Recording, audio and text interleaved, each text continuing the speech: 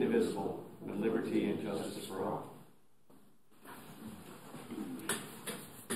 Uh, The first item on our agenda is uh, approval of minutes from our regular meeting and marketing committee meeting in June. To approve. Second. We have a- We have a motion, a second to approve. Any additions, deletions, or corrections? Hearing none, all in favor say aye. Aye. Opposed say nay. Uh, Public input, and um, is there anyone in the public other than our special guest today who would like to be heard? If not, I'd like to uh, call Secretary David Gwynn, Secretary of District 7, uh, Department of Transportation, forward. Thank you so much for coming today. No, I'm glad to be here. I appreciate the invitation. In fact, I spent the last uh, day and a half down at the or at the uh, Floridians for Better Transportation conference in St. Pete. So I was able to time perfectly coming back from that, going back to our office. So uh, very glad to be here. We want to thank you very much for your assistance in streetcar funding. It really is, uh, it's a sea change, and uh, we're going to do our very best to uh, make really good use of those funds. Right. No, I, you know, I'm sure you are. I, I, some of you, I know, I, shared some of this with Jeff in in, in, in terms of kind of how this came about, but I thought it'd be good to, to share with you. You know, we um, it's been a little bit over a year now um, that we went from the TBX, which we kind of put to rest and evolved into Tampa Bay Next. And part of the Tampa Bay Next program and process is to look for things other than widening interstates, putting express lanes, which was really what TBX was primarily about. And um, when I came on as secretary, one of the first things that uh, we did was go up to Tallahassee and talk to our folks about what can we do. Uh, we, we have a lot of things we can't do. We know what those are, but we ask, what can we do? Especially as it relates to things like transit opportunities in terms of uh, expansions of transit. We know we can't really operate and maintain them on our own. We're not an operator. How can we partner with folks like HART and yourself in order to try to do things?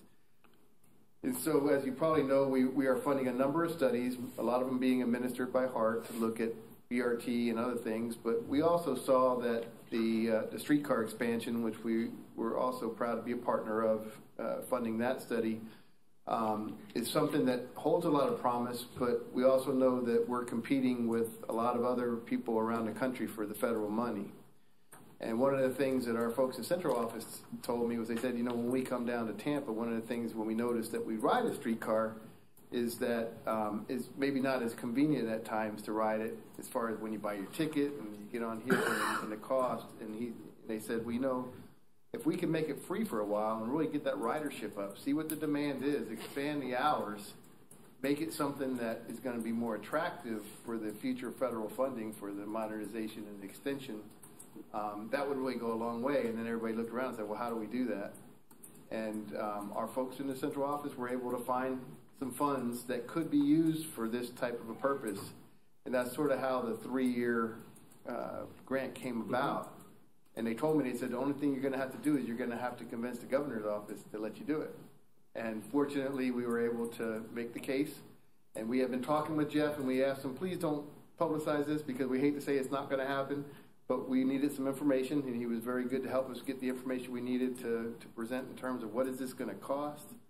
Um, the only thing I would say is that, you know, over the next three years, you know, hopefully with this uh, money to make it so that we can make it free, uh, I know you all will do a good job to market it. I think the higher ridership we can get on it, and the more we can make it an option for people, the, the better case we're going to have for the bigger federal money, which we need in order to extend it and modernize it. So we hope to be your partner on that. Um, we really hope that it does produce the results that we think it will. And so we thank you for partnering with us on this as well. Thank you very much. Well, we can't thank you enough. Thank you for coming. Can, can I ask a question? Absolutely. Hey, Secretary, uh, can we make the uh, the agreement for four years so that it comes during another election cycle? I, I think I, I, not that not that that had anything to do with us getting the money, but boy, that would be probably a nice thing to do. It's got actually it's statutorily three years is all I can do. Ah, okay, all right. I knew there was a reason it was only three.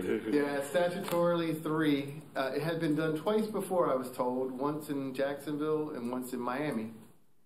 Um, and from what I understand, both of those are still free.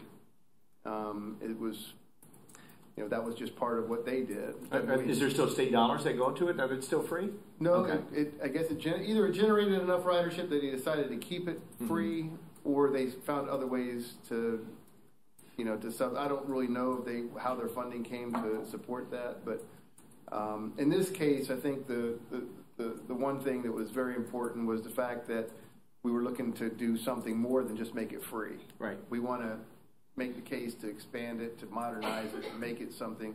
And of course, it doesn't hurt that when you look at where it goes and all the development that's coming, we're also getting a lot of complaints downtown from people about traffic. And you know what we tell them is not a whole lot we can do with the roads downtown. They're they're basically there, but what we can do, hot perhaps, is look at other modes, get people out of their car, give them opportunity to get in another. That's why some of our downtowner and other things that we help fund um, are going to be more important. Uh, Mr. Vinik has a lot of plans for downtown. Others do as well, and cars aren't going to be the answer for a long time. Imagine parking rates at some point are going to go up. People are going to look for options, and you know, we hope that this is one of the ones they'll take. I appreciate it. Thanks so much for your help. Thank you. Thank right, you very thank much, Secretary Gwynn. Okay, um, the agenda has been reorganized a little bit uh, to be consistent with the BOCC's agenda and the HART Board's agenda. So uh, we will start uh, with uh, a presentation on the fiscal year 2019 proposed budget and service plan. Mr. Seward? Permission to go to the podium? Sure.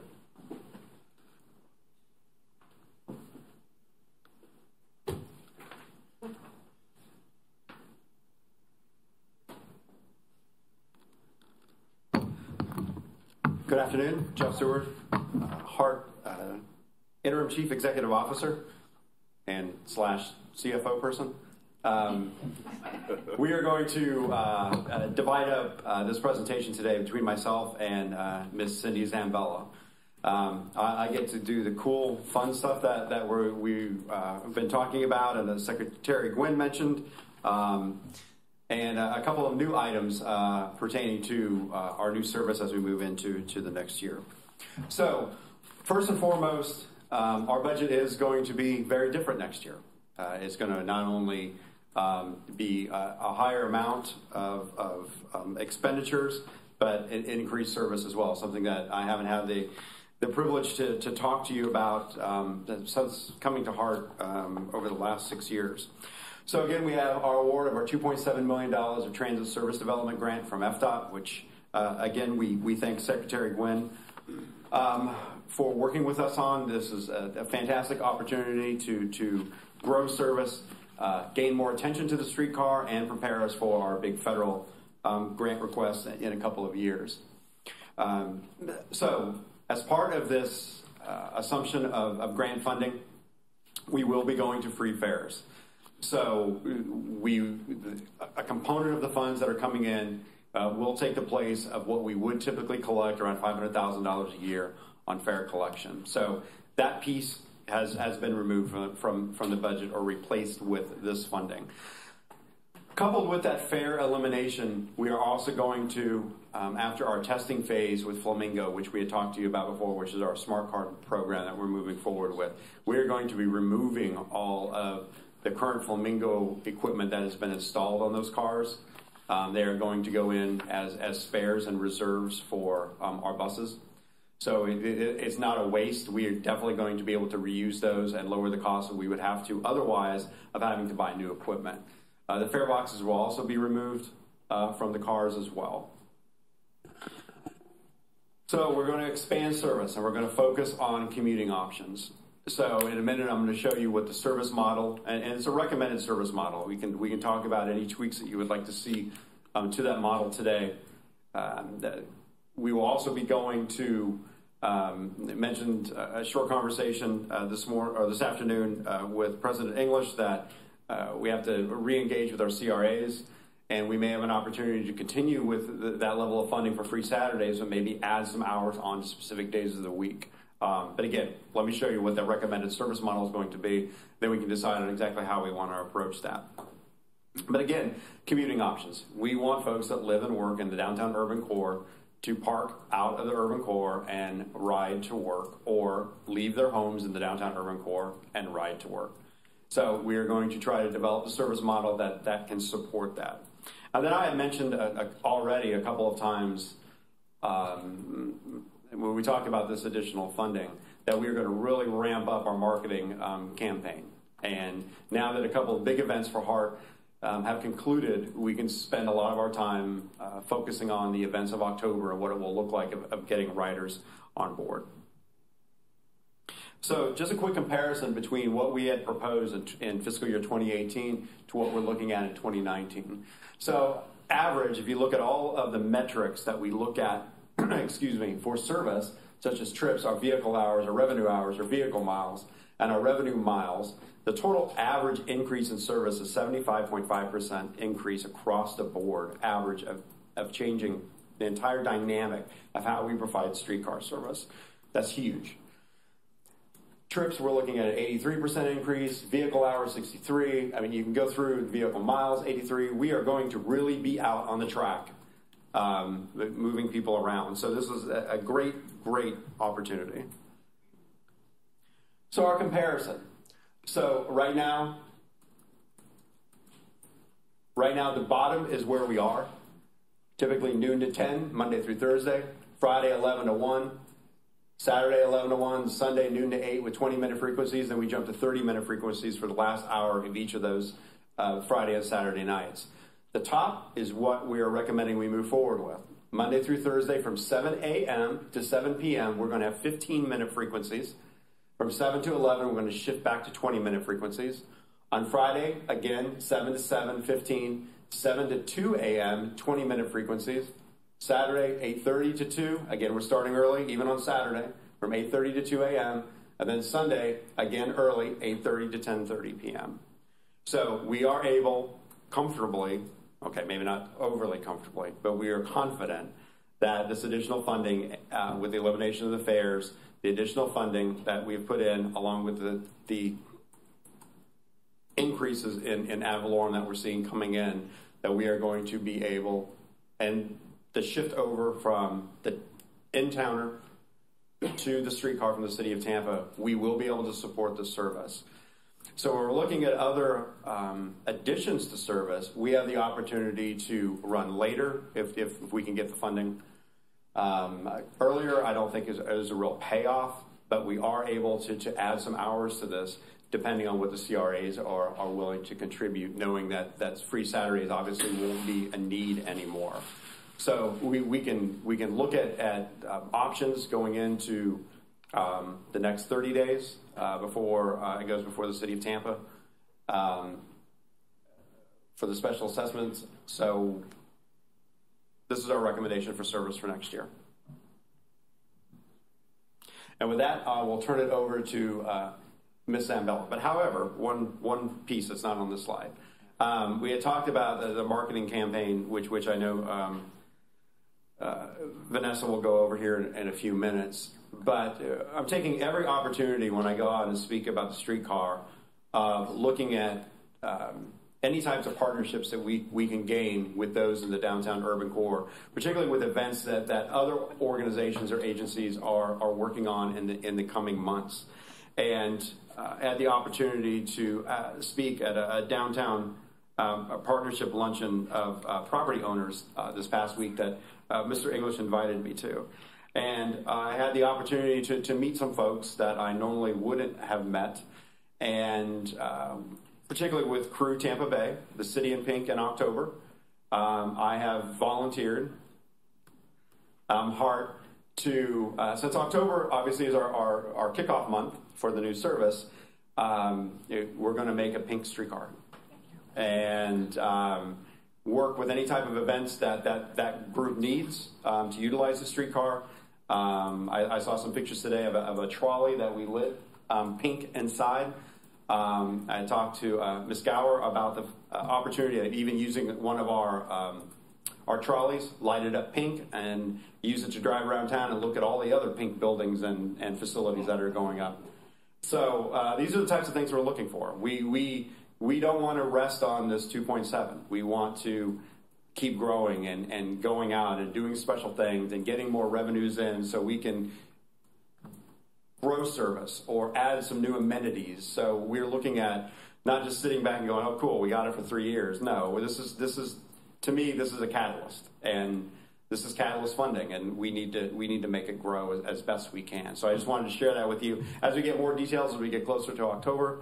Um, on not just this event, but other events or other uh, partnerships that we can do with organizations um, in the Tampa Bay region. Uh, I'll be bringing those back to you. So with that, I'm going to turn it over to Cindy, and she can talk about um, the dollars and cents. Which are very cool too. I mean, he doesn't just get to be the cool kid. Um, for the record, Cindy Zambella, Director of Budget and Grants for HART. Um, this this slide is um, a lot of information. So we have, um, in general, we combine both the HART and the THS um, budgets, annual operating budgets, and that's demonstrated here in this slide. Um, I'll, I'll talk about them on, in a more granular level as we go on. Again, the roll up here is a combination of, of both HART and THS operating revenues and expenses for FY19. The budget is coming in at 2.8 million. That is an increase um, from our current budget of 2.3. So I'll explain how that all rolls together. If you'll indulge me, I'd like to go and start from the bottom actually um, and talk about the THS board expenses. These are provided to me by the City of Tampa, and for FY19, they are proposed to be 25,000.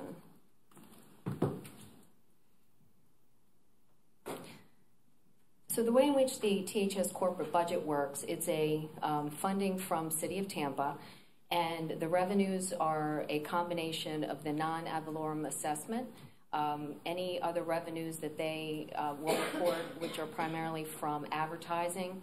And then the city of Tampa makes a contribution to make up the delta of what the expenses will be and the contribution that is needed for HART to balance its budget.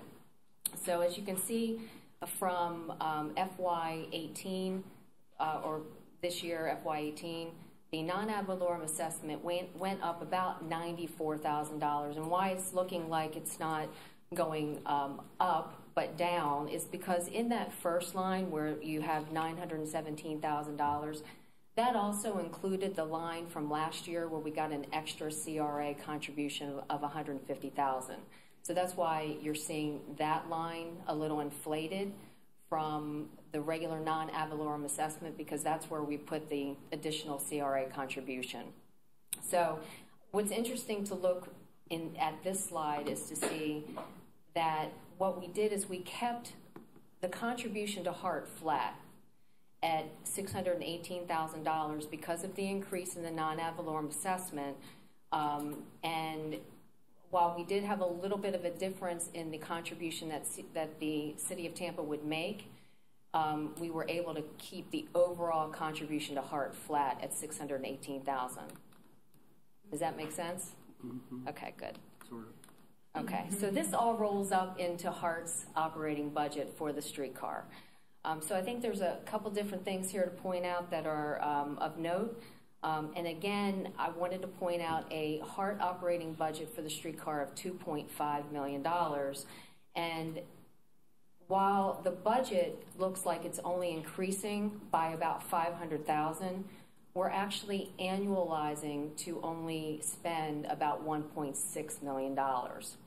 So if we use our actuals, which has been our methodology in, in developing our, our budgets with HART within this last two years, we're using our actuals as a uh, jumping off point, if you will, for um, subsequent budgets. So assuming a $1.6 million annual spend, we've increased the budget by about $900,000. So how does, how does that all break down? Well, again, thank you to FDOT for contributing $890,000 to our revenue stream for FY19. And if you look at the top where, where the revenues are demonstrated, you'll see that state grants have gone up from 100, which is our block grant, and we've added the $890,000 um, to that contribution. We've also taken our fares way down to 30,000. Um, the 30,000 was left there with the intention that we would still charge for charters or special events. Over and above our regular patronage. So I did leave a, a small amount there for, for that, that purpose.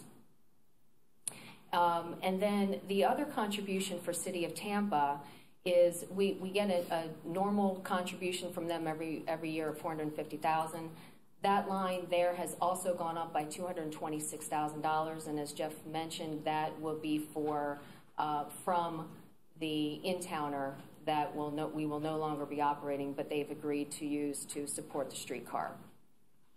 So that's the revenue side.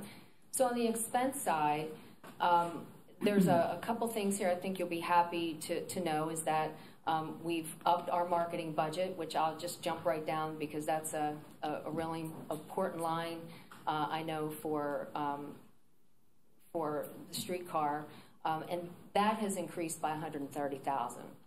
Um, some of the, the less exciting things, but necessary things, we've of course increased our utilities because we'll be using a lot more electric. Um, we've increased our insurance. Um, and as far as the personnel services go, um, that that has obviously increased as well. We'll be adding staff to to um, accommodate the new service. We are adding six motormen, one supervisor, and two mechanics um, in in lieu of, in, in light of the fact that we'll be putting so much new service on on the street. And uh, I work my way back up. So if there's any questions, I'll be happy to entertain them. The only thing I missed was in revenues. Did you did you assume that we would once again get an extra fifty thousand dollars from each of the CRAs? I assumed that the city of Tampa would make up the delta.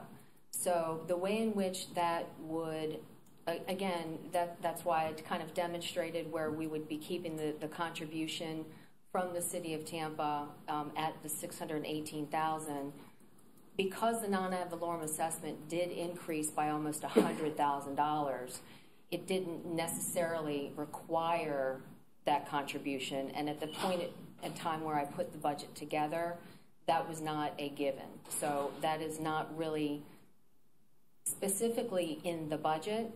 Um, although, again, if that is the case, we would be able to add additional expenses, um, or we would be able to to change the way in which it's positioned under the City of Tampa contribution.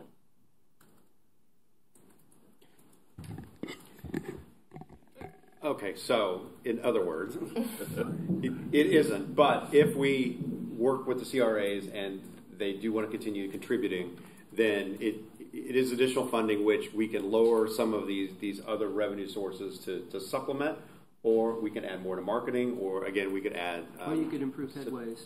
Correct. Yes. Absolutely. Yes, sir. Thank you. Okay. Thank you.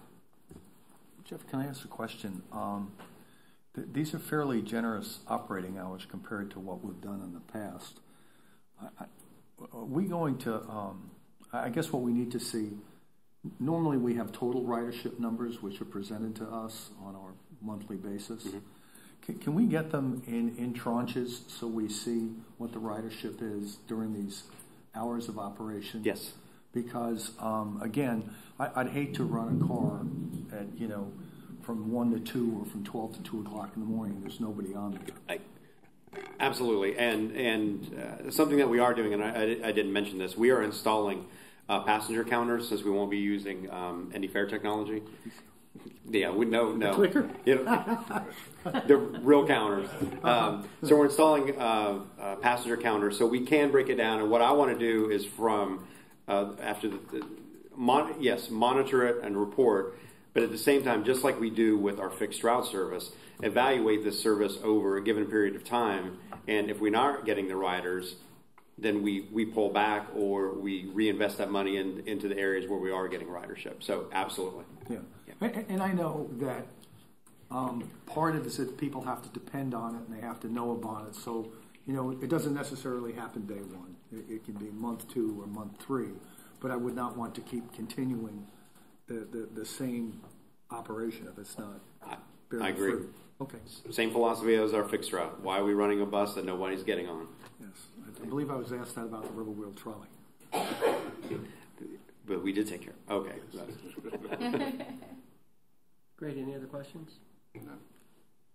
Looks pretty impressive. Thank you very much. Um, be sure and email all this to all of us so we can.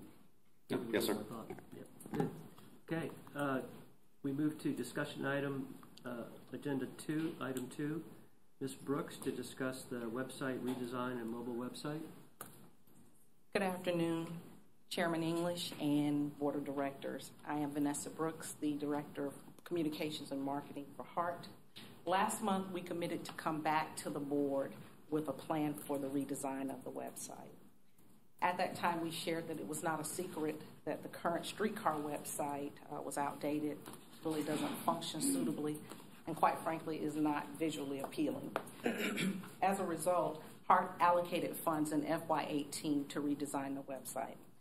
After our meeting, uh, we actually went back and began to look at best practices of several transit agencies, and we took a look at DART, BART, MARTA, and Portland. And of them all, we really fancy Portland, one of Mr. Seward's favorites, Seward's favorites. And we identified characteristics of a fully functional website. How should that website look? We wanted it to be visually engaging um, to our customers and our visitors. As a result of that, some of the features that we uh, would like to incorporate into the new website are a static map with traces of the street streetcar. We eventually would like to see that be an interactive map. Uh, we'd also like to have mobile responsiveness, so there would not be a need for um, a separate mobile website. This website will be mobile responsive. Also ADA compliant, easy to navigate, and of course, visually appealing. the cost of the website is going to be $38,000.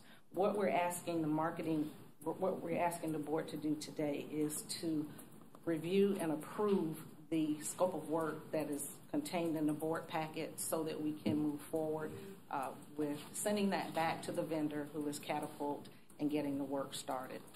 Once the scope of work is signed, if the board approves, it would be about eight weeks before the website would be ready. And of course, we would like to engage the marketing committee every step of the way. Um, we have a couple of mock-ups that we like to review and make sure that we're all on the same page as we move forward. Uh, Thank you. Um, I, I'm not a- an expert on scope for developing websites, but I'm assuming if you're sh- giving this to us, you, you believe this is a reasonable scope for a reasonable fee? Yes, Yes. and we've also worked with uh, our information technology division on this as well, and we believe that this is going to not only serve us now, Chairman, but it's going to also take us into the future. And conversely, with the with the time frame, our goal is to get this done by the time. By way of time we open. Yes. Yes. Makes perfect sense. Any other uh, discussion or questions? Um, May I have a motion for approval? Move approval. Second. We have a motion and a second. Any other discussion? If not, all in favor say aye. Aye. Opposed say nay. Thank you very much. Thank you. Okay, uh, streetcar system performance report for June. Mr. Allen? Good afternoon. For June, we delivered 99.68% of our contracted trips. We had one day where we lost 6.5 trips due to um, illness of our motorman, unbelievably, all on the same day. Um, We had one reported late departure in June for a 99.95 on-time performance. Once again, June was another um, accident-free month. We've now gone since December 28th without an accident.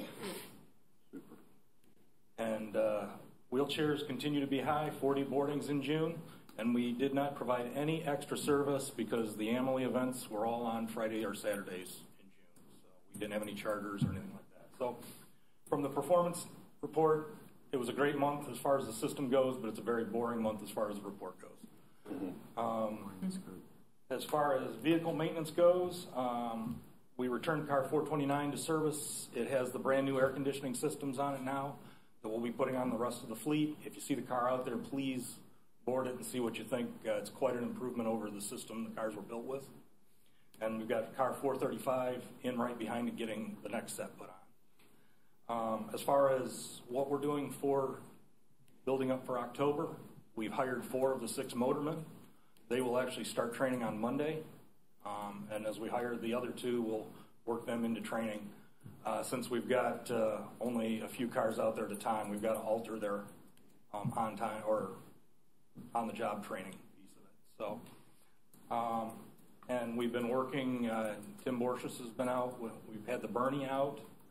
Um, we've got a good plan for the lighting. Correct that. We dynamic tested it last week on the entire system. I believe that's the first time it's been across the CSX interlocking in about eight years. and we had it up to Whiting Street where it's never been before. So that was that was a pretty pretty exciting day. Um, APCs as automatic passenger counters, as Jeff said, uh, those are getting installed next month, and um, August 15th, the first of the ticket vending machines will be removed from the stations. That sounds like you've been busy. Yeah, and uh, we're going to continue to be busy. You'll- That's great. Hopefully, you'll see the uh, some very visible improvements on the line here. Thank you very much. And and if I can, I, I had forgot I had forgot to mention that we are taking all the TVMs off, and we will um, we'll resurface um, the platforms, uh, and so you won't even notice that, that they were there. Um, and we also have, I believe, some pictures of the Birney to show. So, as Mr. Allen mentioned, um, Mr. Borchers has been here. Um, uh, we had the Birney out last week, which is very cool. Um, but we are progressing to, uh, our goal is to have that uh, ready to go and refurbished um, in October to use as a centerpiece of our uh, ribbon cutting.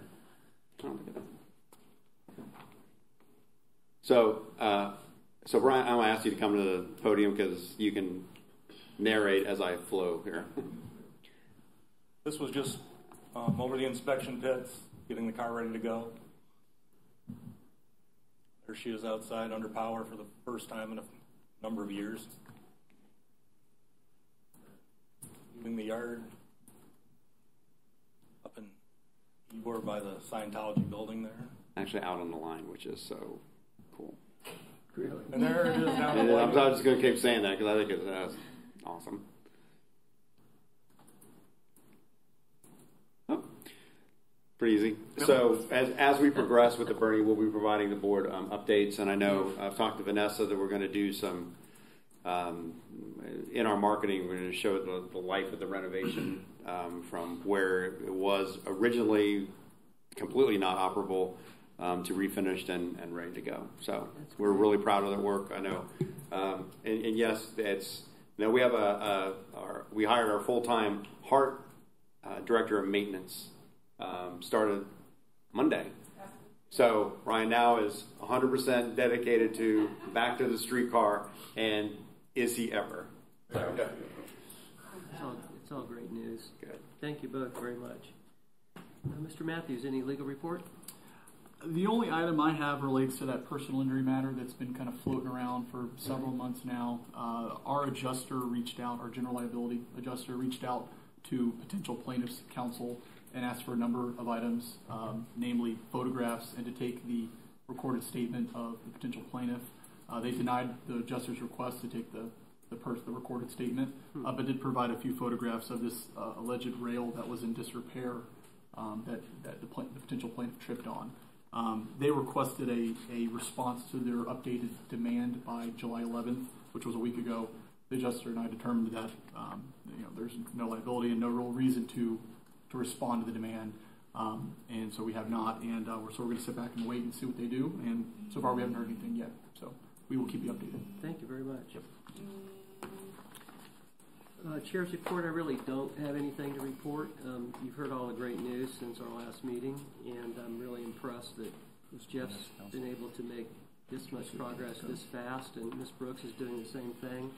So um, this is going to be a really exciting year for the streetcar system. Really looking forward to um, to changes. Uh, Mr. Stewart, do you have uh, more report? I, I do not. Ms. Gage, is there any report from you this month? Good afternoon. Um, thanks for having me. It's Lori Gage with Vector Media. Um, we have our, you know, year-to-date numbers. I'm sorry, contract year-to-date numbers in the report. Um, I do have year-to-date numbers. I don't know if that makes a difference, but um, we're up to 112,000 um, that has been booked for the calendar year of 2018. And uh, Vanessa asked me to talk a little bit about some of the uh, clients that we're talking to that we might be getting future revenue from.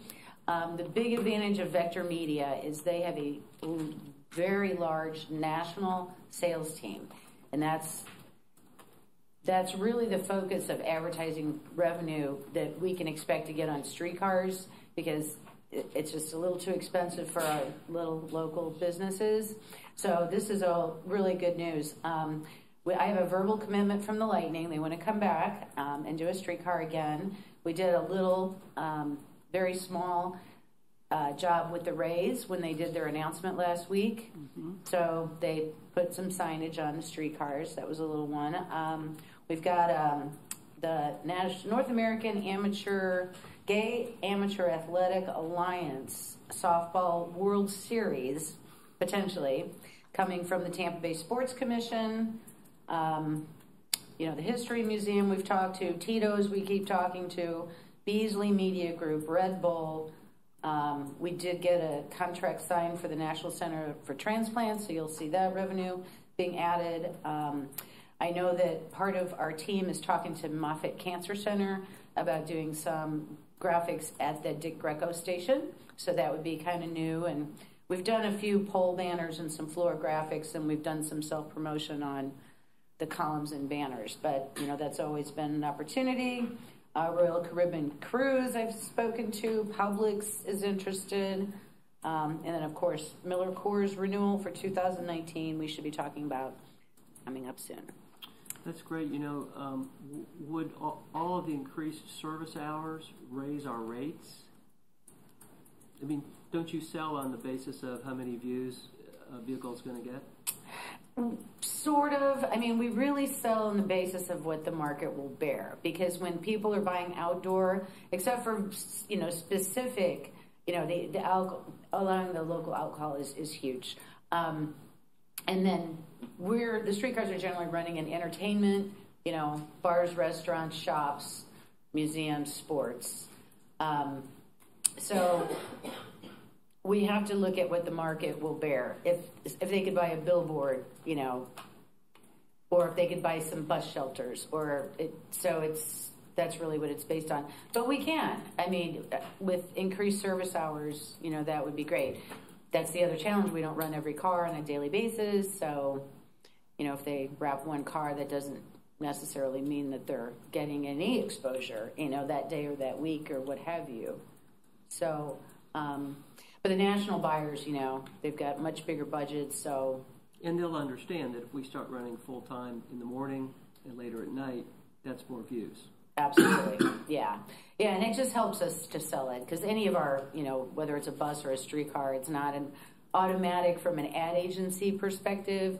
Um, we don't fit all of the graphics and all the measurements that they like. You know, you can't put a traffic counter and uh, you know and count cars that are driving by this specific sign type of thing. So we have to come up with all the other advantages, you know, that you're getting when you when you use outdoor, sure. when you use transit.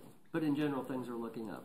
Things are looking really good. Have never been busier. That's great. Well, yeah. Thank you very much. Okay. Thank you. Okay, that brings us to compliance reports. Uh, any other questions about any of them? Ridership, financials, marketing report for June. Any old business? Any new business? Hearing none, this meeting is adjourned. Thank you all very much.